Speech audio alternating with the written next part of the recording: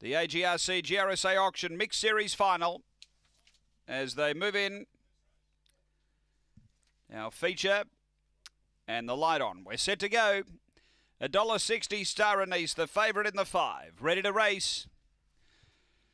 Away, Star Anise step with them, getting some crowding early. He's trying to push through though. Demolisher's going to burn through and be the leader. A bit of tangling, and Star Anise was able to avoid it and got through and shot away. Star Anise to the back by three. Walk on Water does the chasing. Then Amara Lucy. Next is right above it. Behind those Acker Jet. Uh, then Demolisher shuffled back with Stitchem Panda and Stitchem Dolly. The leader is Star Anise to the turn out by three. Over Walk on Water running on as Amara Lucy. Star Anise is in front of Amara Lucy and Star Anise first favourite in, beats Amara Lucy. Third home is right above it. Then came Walk on Water from Acker Jet Demolisher, Stitchem Panda and uh, Stitchem Dolly back toward the tail. Time here is around 30 and 10.